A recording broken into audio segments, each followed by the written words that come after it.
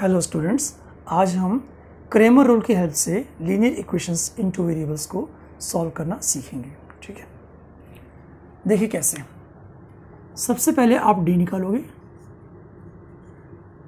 D के लिए x और वाई के कोएफिशिएंट्स को एक डिटर्मिनेंट के अंदर डाल दीजिए। फिर उसका डी वन निकालेंगे और उसके बाद डी टू निकालेंगे। डी वन के लिए क्या करोगे? फ़र्स्ट कॉलम में आप फोर टेन रखो। और डी टू के लिए सेकेंड कॉलम में फोर टेन रखो। अब क्वेश्चन ये उठता है, यहाँ पर क्या आएगा? यहाँ पर जो डी के एलिमेंट्स हैं वही आ जाएँगे। ऐसे यहाँ पर टू फोर आ जाएगा। इतना करने के बाद क्या करना है आपको? देखो, इसे सॉल्व करेंगे। डी क्या होगा? थ्री टू ज़ा सिक्स माइनस फोर वन ज़ा फोर तो वैल्यू ऑफ़ डी क्या आई? टू आ गई। ऐसे ही डी वन निकालेंगे।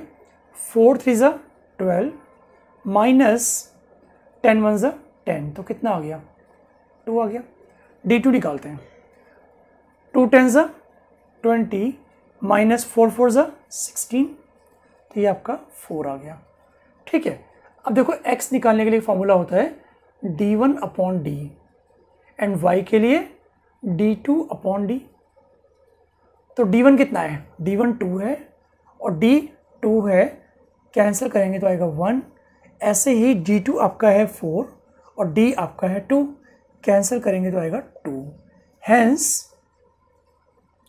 X is equal to one and Y equal to two ये आपका आंसर आ गया. आप इसको वेरीफाई भी कर सकते हो.